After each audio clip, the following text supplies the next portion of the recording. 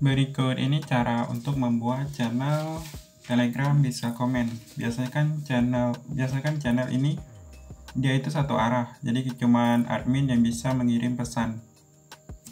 Nah, bagaimana supaya channel ini bisa komen anggotanya berikut ini. Pertama buat dulu satu channel seperti ini. Kemudian buat satu grup seperti ini. Jadi grup yang saya buat seperti ini Nah, ini grup.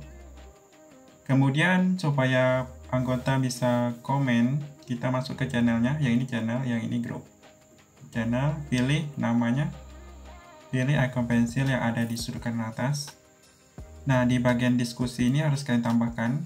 Tambah. Nah, kalau kalian punya grup yang kalian buat tadi, dia muncul di sini. Atau kalau tidak ada, buat baru dari sini juga bisa.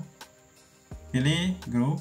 Nah, pilih sambungkan jadi simpan dan kalian lihat kalau kalian lagi bikin sebuah broadcast nah itu ada opsi tinggalkan komentar. Nah dia langsung bisa komentar di sini. Sangat mudah. Silakan dicoba